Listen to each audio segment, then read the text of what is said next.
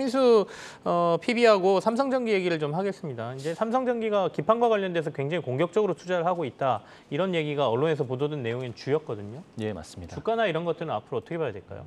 일단 삼성의 주, 주가가 금요일 날 5%가량 올랐습니다. 네네. 어, 특별한 트리거는 없지만 삼성전자라든지 SK 하이닉스 투자 축소와 관련해서 여기 이제 좀 저- 종목들을 저가 매수한 것으로 판단이 되고요. 어, 전사 매출에서 삼성전기 중화권에서 매출이 차지하는 비중, 비중 이 20% 이상으로 중국 락다운, 내수 침체 등 단기 타격은 불가피할 것으로 예상합니다.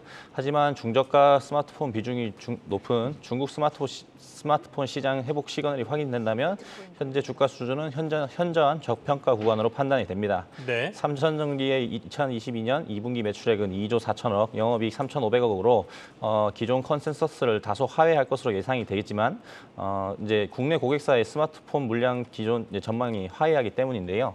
그로 인해 컴포넌트 및 모듈 솔루션 추정치가 기존 대비 부진할 것으로 전망됩니다.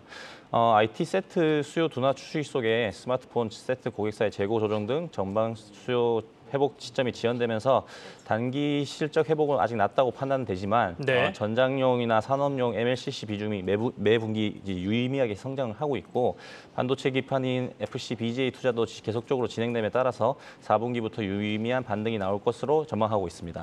4분기부터 좀 유의미한 반등을 예상을 하셨는데 당장은 이제 심택이나 뭐 대덕전자 이런 PCB 쪽에 좀 강세를 보이고 있는 회사들보다 주가의 반등이 좀 약하잖아요. 오늘도 이제 다른 데들은 4%대 강세 나오는데 삼성전기는 그만 못 하거든요. 맞습니다. 주- 이건 어떻게 봐야 돼요? 여기에 이제 기판도 이제 스마트폰 이제 노출도가 다- 따라 다른데요. 네네. 삼성전기 같은 경우는 스마트폰 기판에 따라 대략 이제 노출도가 많기 때문에 여기에 이제 주가가 조금 더 반응이 좀 늦어진 것 같고요. 말씀하신 대덕전자나 이런 그 그런 부분들은 네. 뭐 통신 장비나 전장용 비중이 높은 업체들은 아직도 공급이 부족한 상태라고 합니다.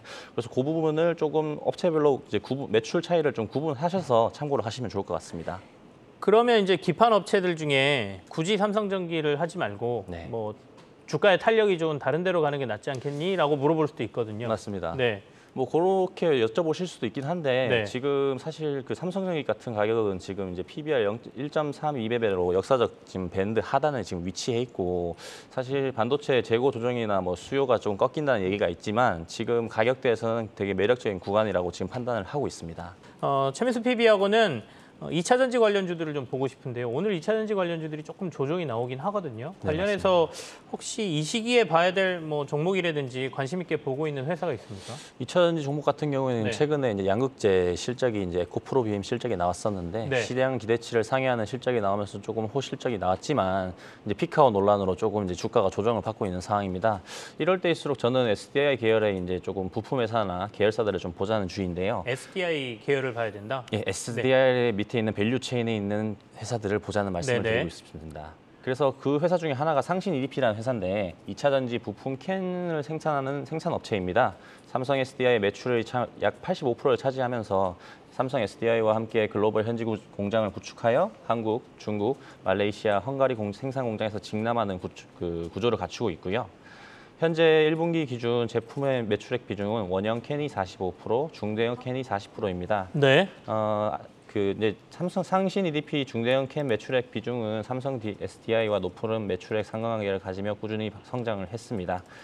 그래서 지금 삼성 SDI 지금 중대형 전지 capa가 2021년 41기가와트시에서 2025년 115기가와트시로 매년 빠르게 확대될 예정입니다. 네. 그래서 상신 EDP 메인 고객사의 capa 확대에 따른 꾸준한 낙수 효과를 주목할 필요가 있겠고요.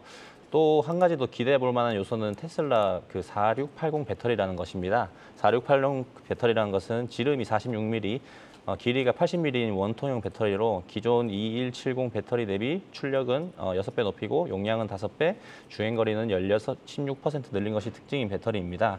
어, 원통형 배터리에서는 이제 삼성 SDI가 되게 이제 가- 그 조금 이제 생산 능력이 좀 많고 능력이 많다 보니까 그 밑에 있는 value chain의 하부에 있는 상신 EDP도 그 투자의 수혜를 좀 기대해 보자 그렇게 전망을 하고 있습니다. RBW는 오르고 있지만 하이엠도 하이브도 3%, SM도 2% 밀리면서 엔터 4사가 모두 좀 흘러내리고 있습니다.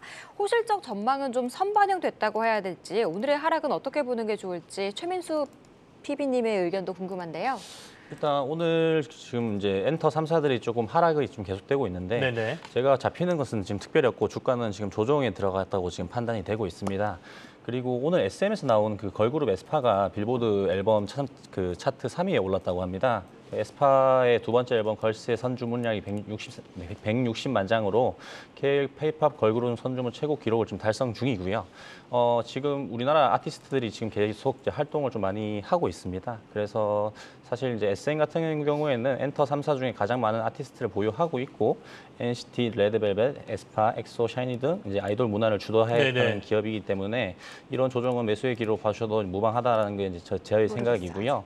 어, 2020년 SM의 매출 액은 이제 8,744억, 영업이익은 950억을 기록할 것으로 예상하고 제가 저번 시간에 말씀을 드렸었는데 어, 그 아티스트들의 데뷔 연차가 낮을수록 소속사가 가져가는 이익이 높다고 말씀을 드렸었습니다. 근데 이제 SM 같은 경우에도 NCT라든지 그리고 어, 레드벨벳 그리고 이제 최근에 이제 인기가 많은 에스파 이런 그 걸그룹들은 데뷔 연차가 낮은 이제 걸그룹들이다 보니까 아무래도 이제 기획사 입장에서는 계속적으로 이제 마진이 높게 가져갈 수 있는 그런 상황인 것 같습니다. SM은 원래 매각 이슈도 좀 있었다는 회사잖아요. 근데 이 맞습니다. 매각 이슈는 요즘 안 나옵니다. 최근에 뭐 사실 올 초에 계속 시끄러웠던 것이 네, 이제 네. 주가는 계속 이제 이익은 잘 나오는데 매각이 이제 이그 이수만 거의 회장님께서 그 이제 매각을 하, 이제 할지 말지를 이제 계속적으로 이제 이게 고민을 하시다 보니까 조금 이제 거기서 좀 변동성이 생긴 건 사실입니다. 지금은 뭐 매각 이슈는 조금 들어가 있는 상황이고요. 최근에 카카오 엔터테인먼트랑 이제 이제 그 최근에 이제 그런 네. 매각 이슈가 있었지만 뭐 크게 이제 진전된 상황은 없는 걸로 지금 판단되고 있습니다. 네오위즈를 가져오셨어요. 게임주죠. 네, 어, 맞습니다. 설명을 좀 듣겠습니다. 어, 최근 게임주들의 주가 흐름이 좋지는 않습니다. 네. 주요 내용은 대형 게임사들의 이제 IP 신작 출시 지연으로 이제 리스크가 조금 부각이 되고 있는 상황인데요. 하지만 웹보드라고 하는 포커, 고스톱, 바둑 등 사행성 게임들은 이제 규제가 완화되면서 좀 반사 수혜를 좀 입고 있습니다. 어, 월 게임 결제 한도를 50만 원에서 70만 원으로 상향하는 것이 그 내용이고요. 이에 따라 NHN, 네오위즈 등 웹, 웹보드 게임사들의 수혜가 예상됩니다. 완화된 규정이 7월 4일에 적용됨에 따라 웹보드 게임 매출은 3분기부터 반등이 예상됩니다. 아직 피망 포커는 지난해 초 강화된 사행성 방지 대책에 부정적인 영향이 남아 있으나 한도 상향 효과로 하반기부터는 분기 웹 웹보드 게임 매출이 300억을 넘어설 전망입니다. 어, 동사는 웹보드 게임으로 현금을 얻은 뒤에 PC나 콘솔 중심의 인디 게임 개발자에게 투자해 어, 서비스를 하는 전략을 구사, 그 구사 중에 있습니다. 네. 어, 동사의 신작 P의 거짓이라는 게임이 2023년 1월 1월을 목표로 이제 출시를 예정을 하고 있습니다.